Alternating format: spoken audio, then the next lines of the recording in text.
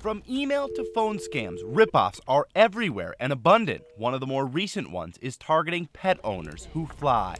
DeltaPetTransit.com. One glance at the website's front page, and it looks legitimate. The real Delta logo, font, color, all of it is Delta Airlines. Its red flag is that it is not connected to the Delta website, nor does it have any affiliation. No, it really doesn't. Um, it's really kind of a, if you go through at the website, it, it's almost like it, it's like disjointed. I think that is an easily searchable fact. Dan Hendrickson with the Better Business Bureau says red flag number one. Also, a little digging, you'll find numerous misspellings on the website. Pet scams are very big right now. We see it a lot. We hear about it every week. Here's how the site works it poses as a Delta sub company that offers to fly and carry your pets for a fee on domestic and international flights. You provide the money, and they provide no service, according to a new lawsuit Delta has filed in federal court claiming trademark infringement.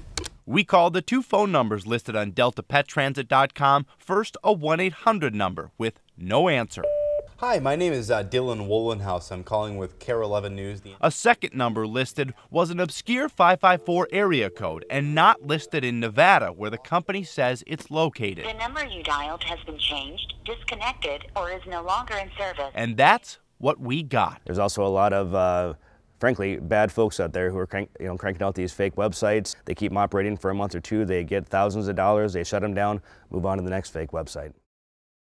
So in the lawsuit, Delta Airlines said the website is intended to dupe victims into believing they are dealing with Delta. Even if a site looks legitimate, dig around a little bit, read the sales pitch, each uh, reach out to the emails or the phone numbers and verify its legitimacy. Flying for pets on airlines is an everyday business, so anything associated with it will likely be outlined on that airline's website, guys. Yeah, and it's really tough because a lot of these websites do look very legit, and so it's hard because you don't, you know, it's hard because you have to do a lot of research to try to figure yeah. out if it really is legit or not, and it's just too bad that there are people out there taking advantage of people like this. Right, a lot of responsibility yeah. on the customer. And sometimes you see a good deal and you just want to, you get so excited, yeah. you want to click. Right. Yeah. Thanks, Dylan. Yep.